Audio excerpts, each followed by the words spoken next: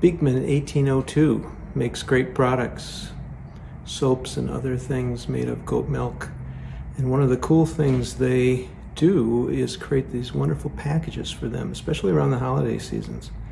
So a year or two ago, they came out with this Twinkle Twinkle theme and had a nice gift package of soaps in there. My wife was kind enough to give it to me, and I made a guitar out of this put in a couple of sound holes, a bridge, put a neck on it.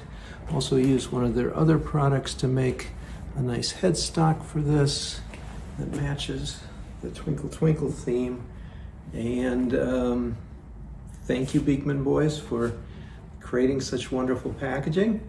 And it's nice that we can reuse it and uh, make art out of found objects here. So I'm gonna play a little little song just to let you know how it, uh, how it sounds.